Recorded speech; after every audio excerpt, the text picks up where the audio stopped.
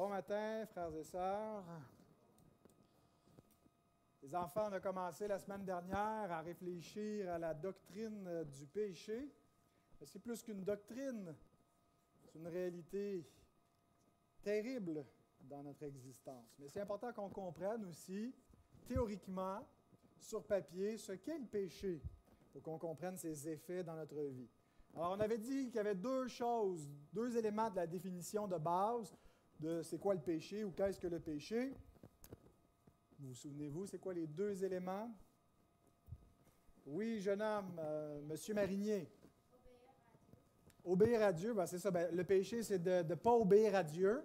Puis ça se manifeste de deux façons. Hein, une façon, on pourrait dire d'omission, puis une façon de commission. Ça serait quoi la différence entre omission et commission, Baptiste? Exact. Ne pas faire le bien, faire le mal. Pas faire ce que Dieu demande, c'est un péché. Puis faire ce que Dieu interdit, c'est un péché. Que veut dire un manque de conformité? Hein, parce qu'on dit le péché est un manque de conformité ou une transgression de la loi de Dieu. Donc, qu'est-ce qu'on veut dire par un manque de conformité? Ceux qui ont étudié leur catéchisme cette semaine, question 32. Que veut dire un manque de conformité? Alors, pour tous ceux qui n'ont pas étudié leur catéchisme, cela signifie ne pas être ou ne pas faire ce que Dieu demande. Hein, il y a l'être et le faire. Et dans ce cas-ci, c'est ne pas être et ne pas faire. Donc, ne pas être. Pouvez-vous me donner un exemple de ce que Dieu nous demande d'être et qu'on pourrait ne pas être? Ben, toi, tu es déjà pris, toi. Ben, s'il n'y a personne d'autre, je reviens à toi. J'ai dit que je vais revenir. ah ouais. Dieu nous demande d'être parfait. Donc, si on n'est pas parfait, notre être n'est pas parfait, c'est. Mais donne-moi un exemple plus précis, quelqu'un, là, de ce que Dieu nous demande d'être. Est-ce que Dieu nous demande, par exemple, les enfants, d'être obéissants envers nos parents? Ben oui, Dieu demande ça. Il demande ça, Dieu. Fait que si vous n'êtes pas obéissant, ben, vous n'êtes pas conforme à ce que Dieu demande. Un exemple de quelque chose que Dieu nous demande de faire. Dieu nous demande de faire quoi, par exemple? De s'aimer les uns les autres. Hein? On fait quelque chose quand on s'aime. Alors, si on ne le fait pas, si on, néglige, par exemple, l'amour envers le prochain, que ce soit de donner de notre temps, euh, de, de, soutenir quand on peut le faire et qu'on ne le fait pas, on n'est pas en train de faire le mal, mais on est en train de ne pas faire le bien. Alors, si quelqu'un sait faire le bien et qu'il ne le fait pas, il commet Donc, le péché, ce n'est pas juste le mal qu'on fait, c'est ce qu'on n'est pas et ce qu'on ne fait pas que Dieu nous demande, les péchés de mission. La semaine prochaine, on va voir ce qu'est la transgression de la loi de Dieu. Donc, vous avez une semaine pour réfléchir à la question 33. Les parents, vos enfants ont besoin de vous. Ils ne prendront pas leur catéchisme. C'est à vous de prendre un peu de temps avec eux à différents moments dans la semaine pour leur inculquer la saine doctrine. Amen. Matthieu 27, versets 11 à 26. Le texte de ce matin que je vais exposer, c'est les versets 15 à 26. On a déjà vu les versets 11 à 14, mais on va les relire pour nous mettre dans le contexte complet de cette péricope. Lisons ensemble la parole de Dieu. Jésus comparut devant le gouverneur. Le gouverneur l'interrogea en ces termes. Es-tu le roi des Juifs? Jésus lui répondit, Tu le dis. Mais il ne répondit rien aux accusations des principaux sacrificateurs et des anciens. Alors Pilate lui dit, N'entends-tu pas de combien de choses il t'accuse? Et Jésus ne lui donna de réponse sur aucune parole, ce qui étonna beaucoup le gouverneur.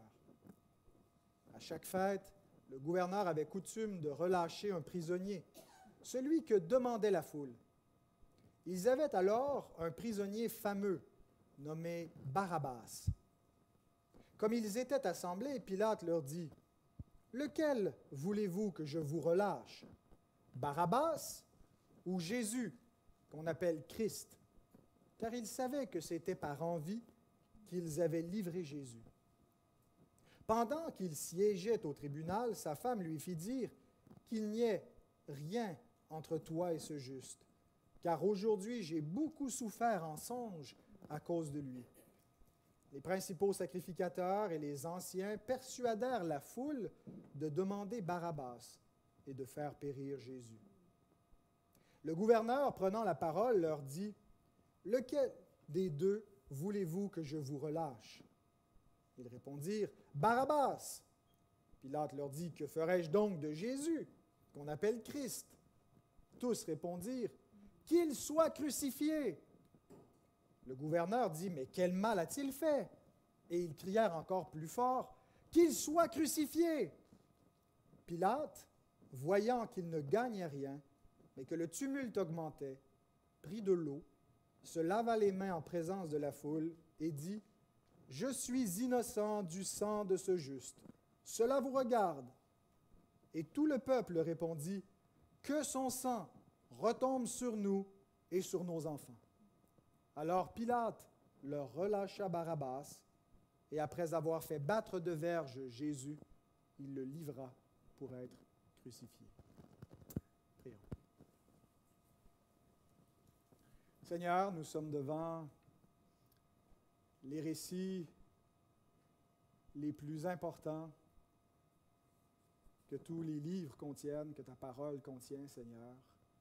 Ce récit qui nous amène au cœur même de la rédemption, lorsque Christ s'est tenu devant ce tribunal pour être condamné, pour recevoir le châtiment qui nous donne la paix, pour recevoir les meurtrissures par lesquelles nous sommes guéris, le châtiment qui nous réconcilie avec toi, qui nous justifie devant toi. Seigneur, il y a de la gravité, il y a des choses extrêmement importantes, extrêmement essentielles à connaître, à contempler dans ce texte. Et je te prie pour que tu nous donnes d'avoir l'esprit attentif. Je te prie pour ceux qui ne te connaissent pas, Seigneur, afin que tu leur donnes d'être captifs de la parole de Christ et qu'il n'y ait pas simplement une impression passagère qui soit faite sur nos cœurs, mais que nous soyons pleinement convaincus de l'Évangile, convaincus que nous sommes des pécheurs, convaincus que Christ est juste et qu'il a pris notre place. Que nous puissions, Seigneur, renouveler dans notre appréciation, renouveler notre, notre euh, confiance, notre compréhension et notre reconnaissance pour ta grâce envers nous en Jésus-Christ. Amen.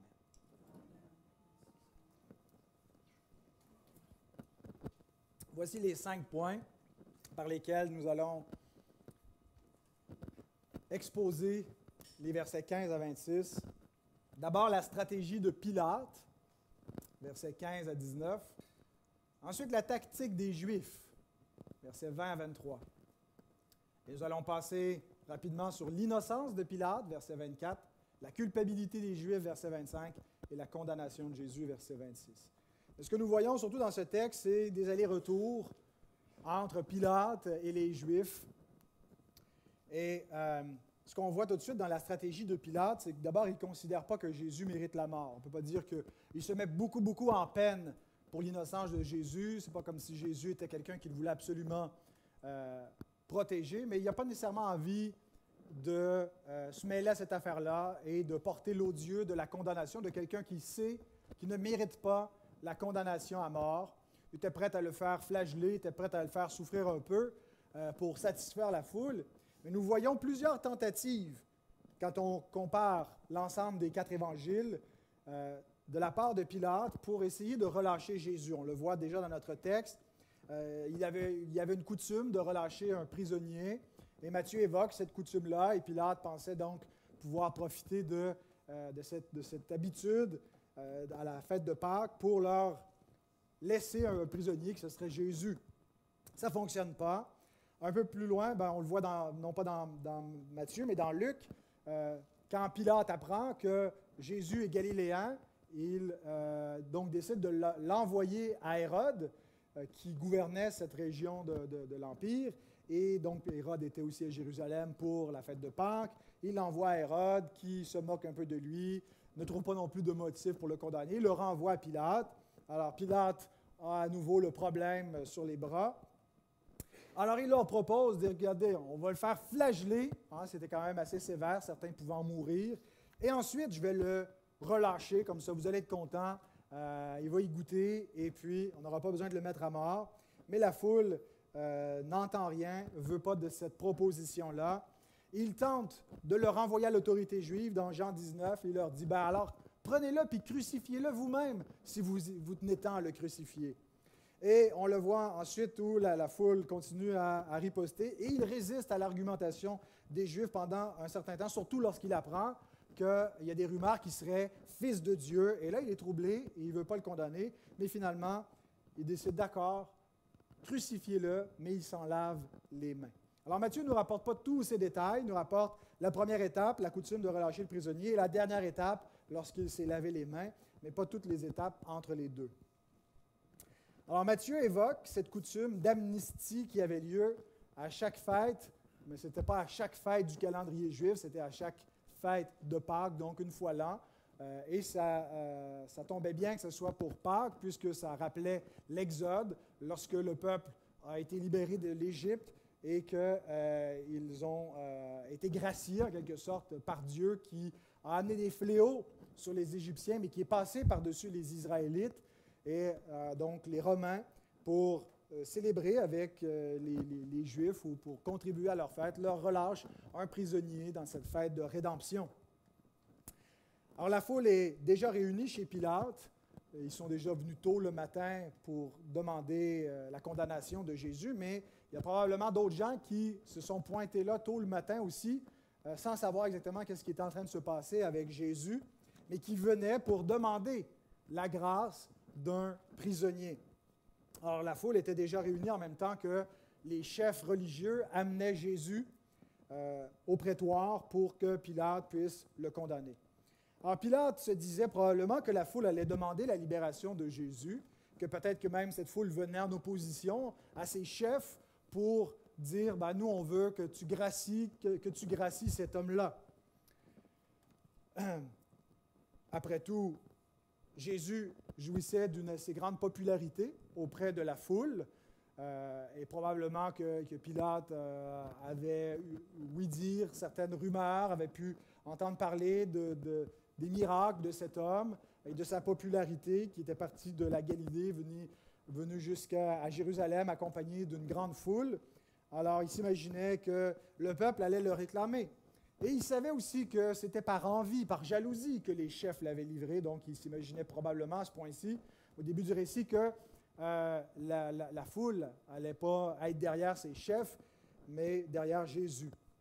Et Matthieu introduit ici le prisonnier fameux qui se nomme Barabbas qui nous est présenté en contraste avec Jésus. Certains manuscrits, d'ailleurs, le présentent comme Jésus Barabbas. Donc, on a deux Jésus euh, qui sont dans ce, funeste concours de popularité, à savoir lequel des deux va être réclamé par la foule. Barabbas, son nom veut dire fils du Père. Bar Abba, euh, donc le fils du Père, mais on a aussi le fils du Père, l'autre Jésus, fils bien-aimé du Père. Et ce que Matthieu nous dit, c'est qu'il était fameux. L'adjectif, c'est épisémos, qui veut dire marqué d'un signe, qui veut dire qui se fait remarquer, donc qui était à part un petit peu des autres par sa notoriété comme brigand. On a d'ailleurs une expression en français, on dit connu comme Barabbas dans la Passion. Alors il était bien connu parmi le peuple, bien connu parmi les Juifs. Euh, connu pourquoi ben, Connu pour ses actes, l'Écriture nous dit qu'il était meurtrier dans Luc 23, dans Acte 3, mais meurtrier non pas simplement qu'il tuait gratuitement euh, toute personne qui se trouvait sur son passage, mais plutôt parce qu'il était le chef de tentative d'insurrection.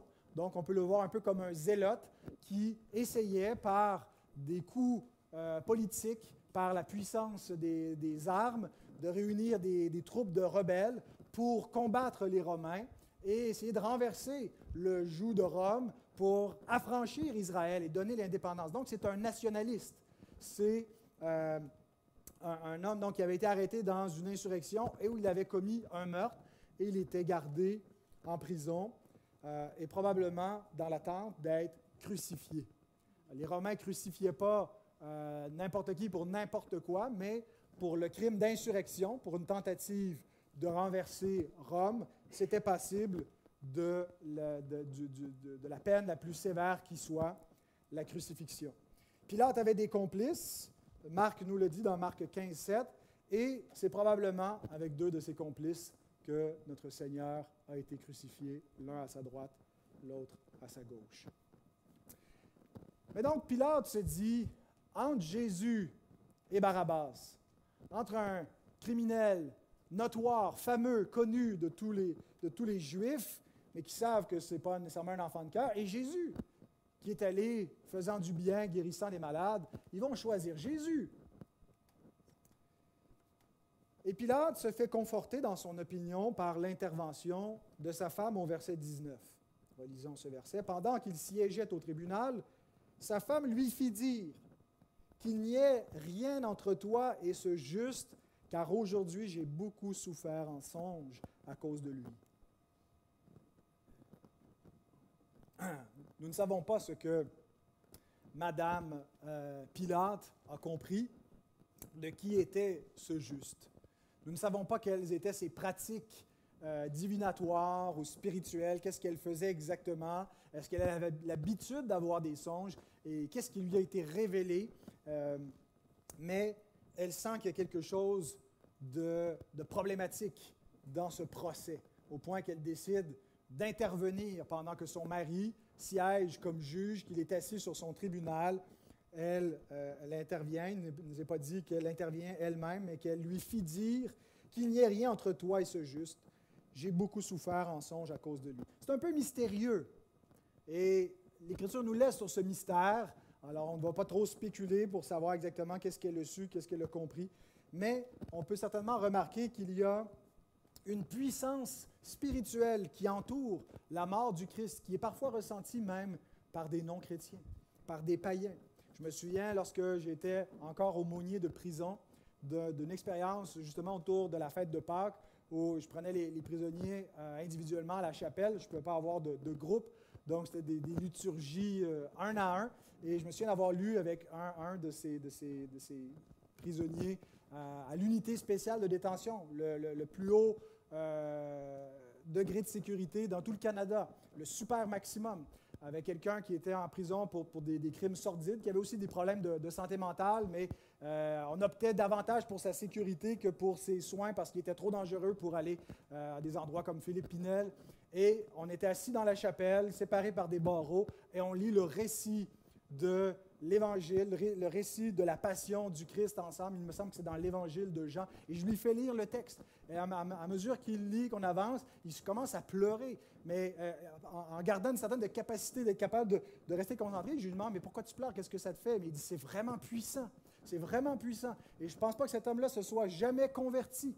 Mais il sentait quelque chose en lisant simplement le récit de la mort de Christ qui avait quelque chose de, de, de puissant, qui se dégageait de cette scène et réalisait euh, qu'il y avait quelque chose. Et, je me suis rappelé de, de cet événement euh, il y a plusieurs années en préparant ce message, en pensant à cette femme, la femme de Pilate, qui voit qu'il y a... C'est un juste et elle souffre, elle souffre dans un songe. On ne sait pas exactement à quoi elle a rêvé, qu'est-ce qui s'est passé, mais elle sent une puissance spirituelle. Et elle dit à son mari, éloigne-toi, qu'il n'y ait rien entre toi et ce juste. Mais c'est aussi un témoignage additionnel de son innocence, comme le note Jean Calvin. Il écrit Dieu le Père a utilisé plusieurs moyens pour attester l'innocence du Christ, afin qu'il apparaisse avec plus d'évidence qu'il a souffert la mort à la place des autres, c'est-à-dire à notre place. La nation entière est dans l'aveuglement et il crie Crucifie-le, crucifie-le il le voit comme un imposteur. Mais voilà que des païens qui sont dans les ténèbres, qui n'ont pas la révélation, qui n'ont pas la loi de Moïse et les prophètes, qui n'attendent pas le Messie, reconnaissent qu'il y a là un juste. Et Dieu atteste par la bouche de cette femme qui ne fait pas partie du peuple d'Israël l'innocence de son Christ. Cet homme est un juste. En fait, c'est le seul juste. Il n'y a pas un de juste, pas même un seul, nous dit l'Écriture. C'est à l'exclusion de ce juste-là. Et donc Dieu, par la bouche de la femme de Pilate, atteste de l'innocence de Christ pour nous rappeler qu'il est un souverain sacrificateur sans tache, séparé des pécheurs dans le sens où il n'a pas de communion avec le péché, mais il vient mourir non pas pour ses fautes, il n'y en avait aucune, mais pour les nôtres. Et c'est ce que nous dit Pierre, l'apôtre, 1 Pierre 3, 18. Christ aussi a souffert une fois pour les péchés, lui juste pour des injustes, afin de nous amener à Dieu. Il a souffert, lui juste, pour des injustes, pour nous amener à Dieu. Donc voilà pour ce qui est de la stratégie de Pilate. On va utiliser cette amnistie offerte aux prisonniers juifs pour libérer Jésus. Mais les Juifs aussi ont une tactique. On lit au verset 20, Les principaux sacrificateurs et les anciens persuadèrent la foule de demander Barabbas et de faire périr Jésus. Et c'est cette stratégie qui va l'emporter. Matthieu nous donne un résumé des échanges entre Pilate et la foule des versets 21 à 23. Ça va comme suit. Pilate dit, Lequel des deux voulez-vous que je vous relâche? La foule dit, Barabbas. Pilate dit, D'accord, mais que ferai-je de Jésus, qu'on appelle le Christ? J'ai tendance à interpréter cela comme, Je suis prêt à vous libérer, Barabbas, mais je ne suis pas prêt à condamner Jésus. Qu'est-ce qu'on ferait? Est-ce que vous voulez un deux pour un? Je vous en donne deux pour le prix d'un. Mais la foule répond Qu'il soit crucifié. Alors Pilate dit Mais pour quel motif? Quel mal a-t-il fait? De quoi est-ce que vous l'accusez? Et vous noterez que jamais ils n'ont pu produire un motif digne de condamnation. En fait, leur seule réponse, c'est de crier encore plus fort Qu'il soit crucifié Ils se mettent à aboyer, à écumer, à vociférer contre Christ. En fait, le verset 20 résume exactement la disposition de cette foule. Ils étaient non seulement pro-Barabbas, mais anti-Jésus. Même sans Barabbas, ils n'auraient pas voulu de Jésus. Ce n'est pas seulement qu'ils en préféraient un, et s'ils pouvaient en avoir deux, tant mieux. Ils voulaient qu'un soit choisi, mais que l'autre périsse. Barabbas représente le Messie attendu par les Juifs et aussi le monde. Il est ce guerrier de la justice sociale, ce libérateur politique, ce zélote que les Juifs espèrent, et l'idéal messianique du monde. Un homme fort, l'homme politique qui va combattre les ennemis. Jésus, c'est le Messie méprisé et rejeté par les Juifs et par le monde. Le premier veut faire la guerre aux ennemis, tandis que le second dit aimez vos ennemis. Le premier est accueilli comme leur héros, il est celui qu'ils demandent, parce qu'ils sont semblables à lui, tandis que Jésus est le Messie rejeté par les hommes. C'est ce que nous dit Paul lorsqu'il interprète de façon plus générale l'événement de la croix, non pas seulement comme ce qui s'est passé en Judée ce jour-là et qu'est-ce que ça signifie comme événement politique pour le peuple juif, mais comme événement spirituel pour tous les hommes. Dans 1 Corinthiens 1, 18 et 22-23, il nous dit que la prédication de la croix est une folie pour ceux qui périssent, mais pour nous qui sommes sauvés, elle est une puissance de Dieu. Un Messie crucifié la prédication de la croix, l'évangile de la croix avec tout ce que ça implique, c'est une folie pour ceux qui périssent. Les Juifs demandent des miracles, les Grecs cherchent la sagesse. Nous, nous prêchons Christ crucifié. Scandale pour les Juifs et folie pour les païens. Jésus est le Messie que les hommes rejettent. Ce n'est pas juste qu'ils en choisissent un autre, c'est que celui-là, ils n'en veulent pas. C'est une folie, c'est une faiblesse, c'est une honte c'est un scandale. Et Paul nous dit qu'à partir de ce point-ci, la croix est le point de rupture spirituelle entre toutes les catégories des hommes. Qui classe l'humanité en deux catégories. Galates 6, 14. Pour ce qui me concerne, loin de moi la pensée de me glorifier d'autre chose que de la croix de notre Seigneur Jésus-Christ, par qui le monde est crucifié pour moi, comme je le suis pour le monde. Le monde a rejeté Christ et l'a crucifié. Et Paul fait une application spirituelle pour ceux qui appartiennent à Christ. Nous sommes dans le même camp. Nous faisons partie de ceux qui sont rejetés de ce monde, pour qui le monde est crucifié, qui ne veulent plus la gloire de ce monde, qui ne cherchent plus les ambitions que ce monde recherche, qui ont abandonné cela, parce que notre gloire, c'est un Messie crucifié. Parce que nous voyons que dans la croix de Christ, il y a plus de richesse que dans tous les trésors de l'Égypte. Et nous considérons comme Moïse que l'opprobre de Christ avec son peuple qui souffre vaut plus que la vie de prince, que fils de Pharaon. Il y a seulement l'Esprit Saint qui peut vous convaincre d'une telle chose. Pour les hommes qui périssent, c'est une folie. Ils ne peuvent pas voir ça, ils sont morts dans leur péché. Et le point de rupture, c'est la croix. Eux le voient du côté de l'abjection que représente la croix. Ils regardent le Christ, ils regardent son peuple, ils le voient comme une honte, ils le voient comme quelque chose de repoussant, quelque chose qui, qui ne les intéresse pas. Et c'est leur affirmation de ce qu'ils veulent faire de ce, de ce oin de l'Éternel, le rejeter. Ils n'en veulent point. Mais nous, pour nous qui sommes sauvés, c'est la puissance de Dieu, c'est l'amour de Dieu. Mais cette différence ne réside pas dans votre libre arbitre, ne réside pas dans vos inclinaisons spirituelles qui sont plus euh, proches de Dieu que les autres hommes. Tout ça réside dans la grâce élective de Dieu qui, avant la fondation du monde, a choisi d'avance son peuple. Et lorsque le bon berger est venu, ses brebis ont entendu sa voix.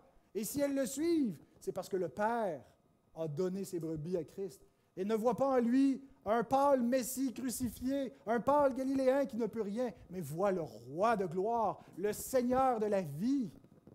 Et c'est l'Esprit de Dieu l'Esprit qui crie Abba Père, qui vous a été envoyé, qui vous permet de dire Abba Père, qui vous permet de dire Jésus, tu es mon sauveur, tu es mon frère, je crois en toi. Donc, ce tribunal funeste devient un espèce de concours de popularité entre deux types de Messie. Celui qui est réclamé par le monde, et par le monde nous incluons les Juifs inconvertis et les païens inconvertis, qui en fait ont les mêmes dispositions, ont les mêmes affections de la chair et qui ont la même répugnance pour le Messie d'Israël. Spurgeon écrit Le Seigneur de la gloire avait été vendu par Judas pour le prix d'un esclave. Et maintenant, un voleur, un assassin, un chef de sédition était plus prisé par le peuple que le prince de la vie. N'y avait-il pas de voix qui s'élevait en faveur du Christ? N'y avait-il personne dans toute cette foule dont il avait guéri les malades, dont il avait apaisé la faim, qui se souvienne de lui en ce jour et demande qu'il soit épargné? Non, pas un seul. Il n'y avait personne dans cette foule qui compatissait silencieusement avec le Seigneur. Tous criaient qu'il soit crucifié. Voilà les hommes livrés à leur sens réprouvé. La réprobation, c'est lorsque Dieu donne aux hommes ce qu'ils réclament. C'est lorsque Dieu laisse les hommes aller à leur sens réprouvé pour commettre toutes les choses abominables, tous les mauvais désirs de leur cœur, leurs désirs meurtriers, leurs désirs impurs.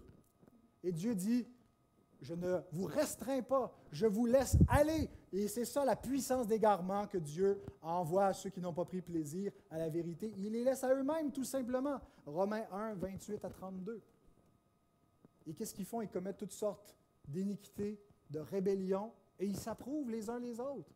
Ils s'approuvent dans ce qu'ils font. Alors nous avons ici dans cette foule le spectacle de l'humanité rebelle contre Dieu.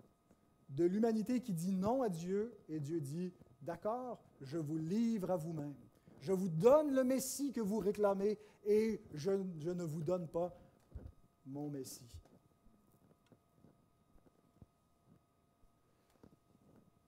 Notons, frères et sœurs, que la foule n'est pas un bon guide. que les affections de ce monde ne devraient pas nous conduire, que nous ne devrions avoir aucun complexe par rapport au monde présent, au siècle présent qui va périr, et ne pas nous sentir comme les pauvres petits chrétiens qui euh, sont à compte courant et qu'on persécute. Notez la folie de la foule. La foule qui accueille, qui accueille Jésus en liesse le dimanche. Hosanna, béni soit celui qui vient au nom du Seigneur. C'est le fils de David. Et le vendredi suivant, qu'il soit crucifié. On voit cette même foule lorsque Paul et Barnabas s'en vont prêcher l'Évangile à l'Istre et qu'ils font un miracle. Les dieux sont venus parmi nous sous forme humaine. Et là, il leur dit, non, non, non, c'est de l'idolâtrie ce que vous faites. Détournez-vous de ces choses vaines. Et là, une fois qu'ils sont gagnés par, les Juifs, comme si ces hommes étaient des imposteurs, qu'est-ce qu'ils font? Ils les lapident dans le même événement. Ce sont des dieux. Non, ce sont des gens qu'on doit faire mourir. Voilà la folie de la foule. Ne suivez pas la foule. Le, vent tourne, les gens changent d'avis et tout le monde suit la parade en pensant que euh, du côté de la majorité, c'est là que se trouve la vertu, c'est là que se trouve la vérité. Ne suivez pas la foule, ne suivez pas la parade. Suivez Christ, suivez sa parole. Après plusieurs tentatives et devant l'hostilité grandissante, Pilate abdique vis à -vis de cette foule. Nous arrivons au troisième point, l'innocence de Pilate au verset 24. Pilate, voyant qu'il ne gagnait rien, mais que le tumulte augmentait, prit de l'eau, se lava les mains en présence de la foule et dit, Je suis innocent du sang de ce juste, cela vous regarde.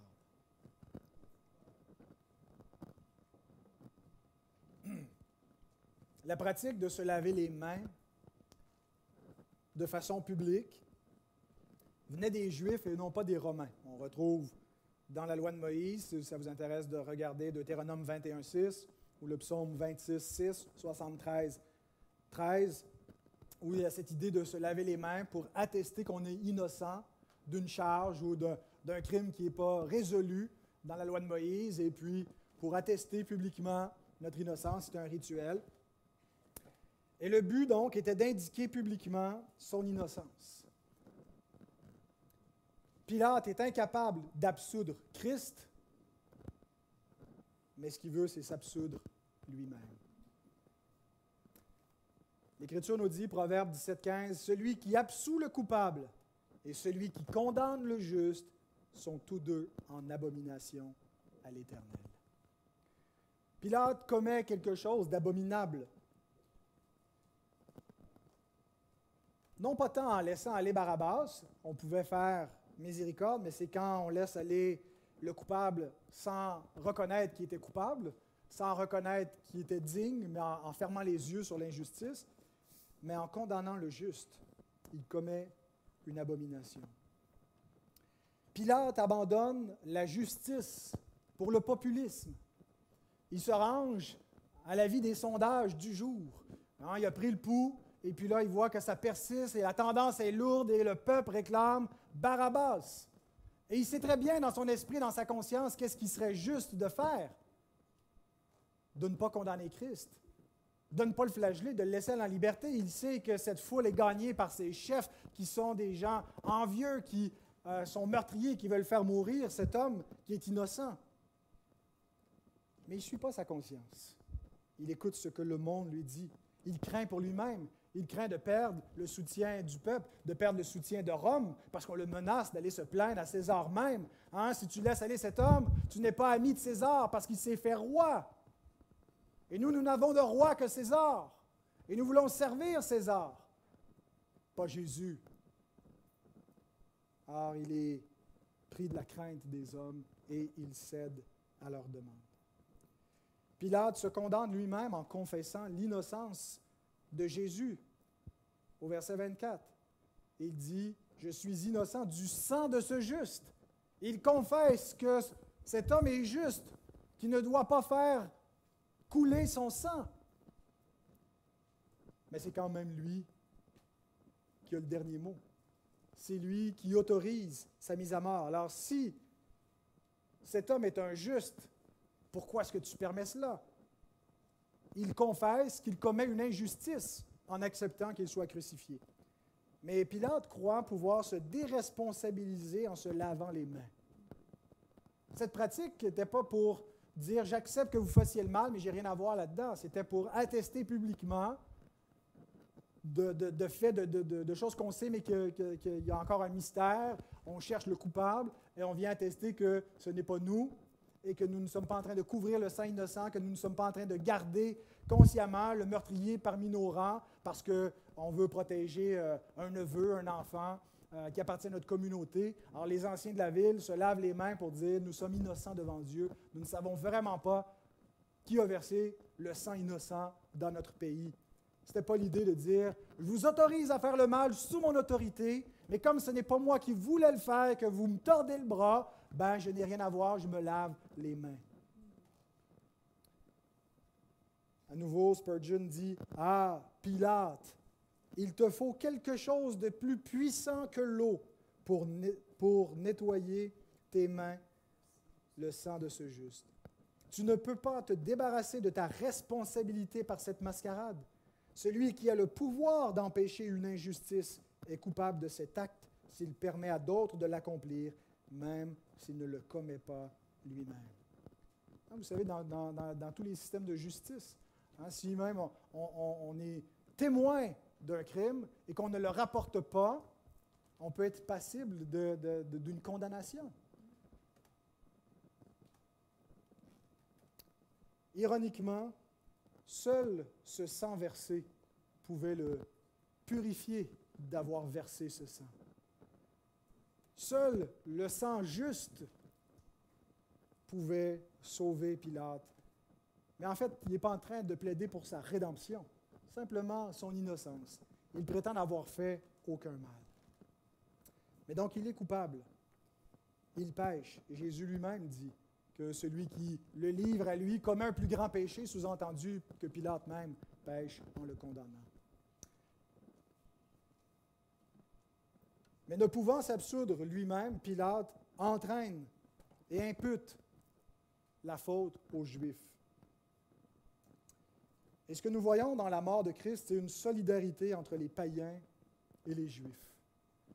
Quand l'Écriture et Jean en particulier nous parlent du monde, Dieu qui a tant aimé le monde, ou le, monde qui n'a pas reçu la parole faite chair, le monde, ce n'est pas seulement les païens, c'est le monde inconverti. C'est le monde sous l'influence et sous la domination du prince de ce monde, le diable. Et Jésus inclut les Juifs dans ses discours en disant, vous avez pour père le diable.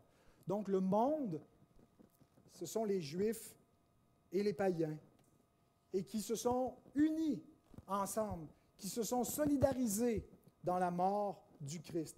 Hein, c'est ce qu'on a lu aussi la semaine dernière dans Acte 4, 27 lorsque, euh, en, citant le psaume 2, l'apôtre Pierre dit dans sa prière que, les, euh, que, Hérode et Ponce Pilate se sont ligués ensemble avec les, les, païens et les peuples d'Israël pour faire tout ce que sa main, son conseil avait arrêté d'avance, c'est-à-dire se rebeller contre le Christ et le mettre à mort.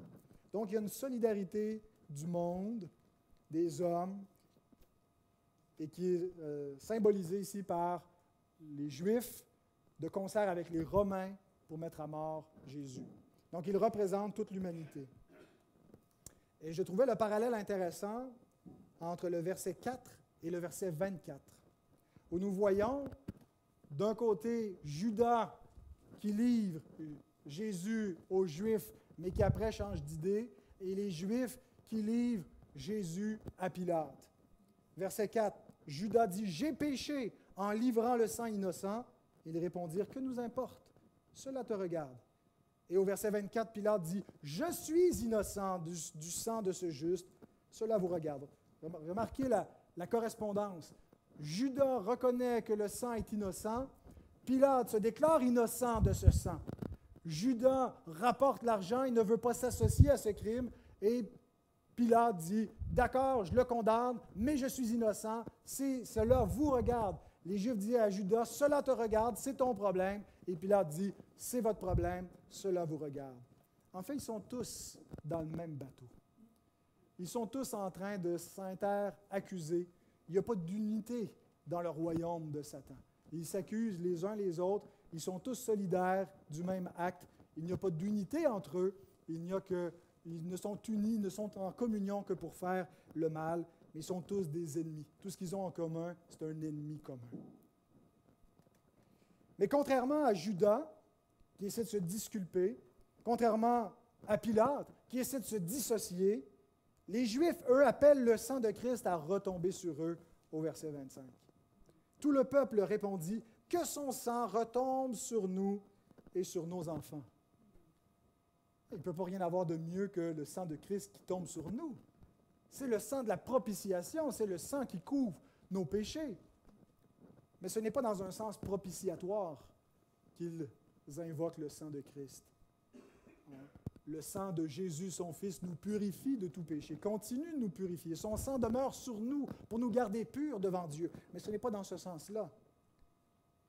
L'expression le sang qui retombe sur quelqu'un, sur la tête de quelqu'un, c'est que la responsabilité de la mort de cette personne incombe à celui sur qui il tombe.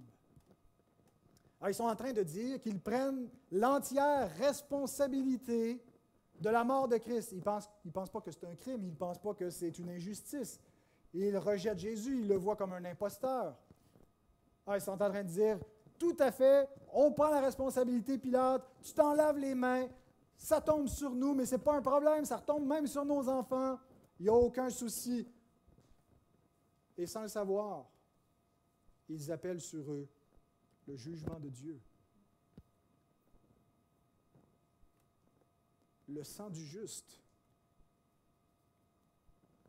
Le seul juste, le seul sang juste versé depuis le sang d'Abel, souvenez-vous, la voix du sang d'Abel qui crie du sol et qui appelle à la vengeance. L'Éternel qui vient vers Caïn et dit Qu'as-tu fait? Tu as versé le sang innocent, mais il était innocent, mais pas immaculé, pas un sang sans péché. Mais l'Épître aux Hébreux nous dit que le sang de Jésus parle mieux que celui d'Abel. Il parle comment? Ben, De deux façons. Il parle pour la rédemption de ceux qui croient en ce sang pour leur salut, mais il parle pour la condamnation de ceux qui ne placent pas leur confiance en ce sang, qui ne se repentent pas de leurs péchés. Ce sang donc appelle à la vengeance. Ce sang appelle la colère de Dieu sur ceux sur qui il retombe en jugement. Écoutez l'Épître aux Hébreux, un des versets les plus terribles, chapitre 10, verset 29. De quel pire châtiment, en comparaison avec la peine capitale sous la loi de Moïse, l'auteur nous dit il y a une peine plus capitale que la peine de mort. C'est la mort après la mort. C'est le châtiment éternel. Donc, de quel pire châtiment pensez-vous que sera jugé digne celui qui aura foulé aux pieds le Fils de Dieu, qui aura tenu pour profane le sang de l'alliance par lequel elle a été sanctifiée et qui aura outragé l'Esprit de la grâce? Ça nous parle des apostats, mais ça nous parle en fait de tous ceux qui foulent aux pieds le sang de Christ. Et on a ici ce peuple qui dit que son sang retombe sur nous et sur nos enfants. Et ça a d'abord pris dans l'histoire la forme d'un jugement historique qui était typologique d'un jugement eschatologique. Les enfants, vous êtes avec moi?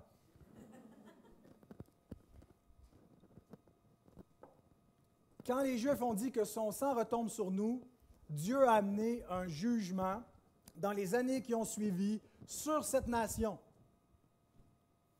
La destruction de Jérusalem et du temple et du peuple par le peuple romain. Et c'est un jugement que Christ a prophétisé. On le lit par exemple dans Matthieu 23, 35, qui dit que afin que retombe sur vous tout le sang innocent répandu sur la terre depuis le sang d'Abel, le juste, jusqu'au sang de Zacharie, fils de Baraki, que vous avez tué entre le temple et l'autel. De A, Abel, à Z, Zacharie, tout le sang innocent, qui inclut le sang du Fils de Dieu, Jésus dit, va retomber sur vous, c'est-à-dire sur cette génération. Et je ne pense pas que Jésus est en train ici de dire qu'il y a une malédiction plus grande dans l'éternité ou dans le jugement éternel pour les Juifs. Il est en train de parler spécifiquement que l'ancienne alliance va se solder par un jugement final. Le peuple juif va perdre son statut de peuple d'alliance. Le royaume vous sera enlevé, sera donné à une autre nation qui va emporter les fruits. Et l'ancienne alliance termine avec un jugement. Et ce jugement-là est venu pendant la première génération de l'Église, en l'an 70, en fait de 66 à 70, dans la guerre des Juifs contre les Romains, où le peuple a été détruit, et plus jamais ils n'ont eu leur terre, plus jamais ils n'ont eu leur temple. Et si vous doutez de la spécificité de l'accomplissement de cette prophétie, écoutez encore cette annonce par Jésus, Luc 19, 41 à 44. Comme il approchait de la ville, Jésus, en la voyant, pleura sur elle et dit, si toi aussi aujourd'hui, non, pardon, si toi aussi, au moins en ce jour qui t'est donné, tu connaissais les choses qui appartiennent à ta paix, mais maintenant ils sont cachés à tes yeux. Il viendra sur toi des jours où tes ennemis t'environneront de tranchées, t'enfermeront et te serreront de toutes parts et ils te détruiront, toi et tes enfants au milieu de toi, et ils ne laisseront pas en toi pierre sur pierre, parce que tu n'as pas connu le temps où tu as été visité. Jésus approche de Jérusalem, la ville du roi. Il pleure sur cette ville. Il pleure parce qu'il sait exactement ce qui s'en vient, que même s'il va se faire accueillir en roi, il va se faire crucifier en criminel dans les jours qui vont suivre. Et il dit parce que tu n'as pas connu le jour où tu as été visité et que tu n'as pas reconnu ce qui appartient à ta paix, le prince de paix qui vient à toi pour te délivrer et que tu as rejeté ton Messie, la colère de Dieu vient sur toi. Et tes ennemis vont venir, ils vont t'environner de toutes parts, ils vont creuser des tranchées, ils vont te faire la guerre et ils vont te détruire. Ben, c'est exactement ce qui est arrivé dans les années qui ont suivi. Si vous voulez avoir tout le détail, ben, vous pouvez reculer quelques semaines euh, en arrière dans nos, prédications, sont archivées sur YouTube. Réécoutez Matthieu 23, Matthieu 24 avec le discours sur le mont des Oliviers. Et nous avons vu que jusqu'au verset 36, Jésus ne parle pas de la fin du monde, mais de la fin de Jérusalem. Et la fin de Jérusalem est déjà arrivée. Elle n'était pas arrivée à ce moment-là, elle n'était pas arrivée au moment d'écrire le Nouveau Testament, mais c'était le jugement redoutable qui était attendu sur le peuple juif. Et Paul nous dit dans 1 Thessaloniciens, la colère de Dieu a fini par les attendre. Elle s'est manifestée dans un jugement historique. Et ça a été le jugement dernier d'Israël, typologique, c'est-à-dire une figure, une image du jugement eschatologique qui vient, du jugement dernier qui vient sur tous les hommes, du jugement qui dépense la condamnation ou le jugement de l'ancienne alliance. De quel pire châtiment, croirez-vous, sera jugé digne celui qui foule aux pieds le Fils de Dieu? Il y a dans la loi de Moïse une peine capitale qui s'est accomplie typologiquement pour le peuple juif parce qu'ils ont été détruits sur la terre. Mais il y a un jugement après cela. Le jugement céleste. Le jugement devant le trône de l'agneau. La colère de l'agneau qui vient sur ceux qui rejettent le sang de l'agneau, qui le foule aux pieds. Et ce jugement, donc, vient sur tous ceux qui ne s'approprient pas le sang de Christ. Donc, question, est-ce que le peuple juif est encore sous cette malédiction? Le jugement spécifique que Jésus vise, et quand ils disent que son sang retombe sur nous et sur nos enfants, et les, toutes les paroles qui annoncent un jugement sur Israël, a déjà eu lieu et concernait cette génération spécifiquement, et pas chacun des Juifs, mais tous ceux qui ont rejeté Jésus, qui ne l'ont pas reconnu comme le Messie attendu. Et donc, ce jugement est passé, mais la colère de Dieu demeure sur tout Juif jusqu'à ce qu'il croit au Fils de Dieu, comme sur tout homme. Jean 3, 36. Celui qui croit au Fils a la vie. Celui qui ne croit pas au Fils ne verra pas la vie, mais la colère de Dieu demeure sur lui. C'est déjà un état de fait. La colère de Dieu est sur les hommes, c'est-à-dire le jugement. La, condamnation de Dieu est sur tout homme, mais il leur laisse un sursis pour leur permettre de se repentir et de croire au Fils pour avoir la vie. Donc la malédiction historique que les Juifs ont subie est une image de la colère de Dieu qui est sur tout homme jusqu'à ce qu'il se tourne vers Christ. Dans ces événements historiques localisés, qui ont une symbolique aussi euh, politique, il y avait une révélation de, réalité spirituelle. Tout homme, pour ne plus être sous la colère de Dieu, a besoin de se tourner vers Christ. Ça a été un passage qui a été malheureusement souvent utilisé, et même par les chrétiens, pour justifier l'antisémitisme. Il y a eu beaucoup de persécutions de la part des chrétiens contre les Juifs dans l'histoire des siècles qui ont suivi, jusqu'à ce qu'on se sente tellement coupable depuis la Deuxième Guerre mondiale et qu'on les évangélise même plus de peur euh, d'être euh, antisémites parce qu'on veut les tourner vers, le Messie qu'ils ont rejeté et qu'on les a persécutés parce qu'ils l'ont rejeté. Euh, mais les chrétiens, historiquement, disaient, ben oui, ils ont commis un déicide, ils sont maudits. Regardez, ils appellent la malédiction de ce sang retomber sur eux comme ça se maintenait sur chaque génération. je me souviens, il y a quelques années, quand Mel Gibson réalisait La Passion du Christ, il y avait certains qui s'inquiétaient, il y avait des, discussions euh, sur la place publique à dire que ça ne va pas réveiller l'antisémitisme encore, de dépeindre cela, de démontrer que les Juifs hein, ont tué Dieu, ont tué le Messie, euh, et c'est pas ce que vous voulez faire. Il y avait, on accusait même Mel Gibson d'être antisémite. Alors, je me souviens d'un journaliste qui lui avait posé la question qui est responsable de la mort de Jésus? C'est une grande controverse. Est-ce que c'est les païens, les Romains qui l'ont mis à mort? Est-ce que c'est les Juifs? Et la réponse de Mel Gibson, il avait dit Nous sommes tous coupables. Je ne sais pas si cet homme-là connaît l'Évangile, mais en tout cas, il a confessé exactement ce que nous devons comprendre de la mort de Christ. Nous sommes tous concernés par la mort de Christ. Même ceux qui n'ont jamais entendu parler de Jésus sont concernés par sa mort. Parce que c'est le point de, c'est, le point de touche, la pierre de touche. Sa mort nous justifie par la foi ou nous condamne en jugement. Voyez, on a Judas qui essaie de se dissocier, qui rapporte l'argent, qui dit Je ne veux pas être coupable du sang innocent, mais parce qu'il ne croit pas dans la mort de Christ pour son salut, est condamné par cette mort. On a Pilate qui veut juste être indifférent et il ne veut juste pas prendre part à cela. Comme beaucoup de, pécheurs disent ben, ça regarde les autres, ce n'est pas mon affaire. Mais il est quand même coupable de sa mort. Et on a les Juifs, les ennemis du Christ, qui disent que son sang retombe sur nous et sur nos enfants, ceux qui sont les adversaires euh, avoués de Christ et donc ils sont coupables eux aussi. Mais voyez-vous, tous les hommes sont concernés par sa mort. Soit qu'elle nous condamne, peu importe qui nous sommes, parce que nous n'avons pas placé notre foi, notre confiance en cette mort pour notre salut. Mais qu'est-ce qu'il faut faire? Le récit termine avec le verset 26 qui nous présente l'Évangile glorieusement. Alors Pilate leur relâcha Barabbas, et après avoir fait battre de verge Jésus, il le livra pour être crucifié. C'est une scène qui est profondément choquante.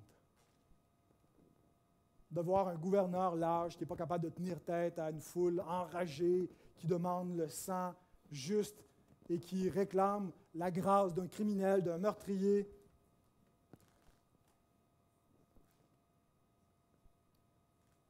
Quand on considère que la croix avait probablement été préparée pour Barabbas, le texte ne le dit pas, mais on peut le supposer,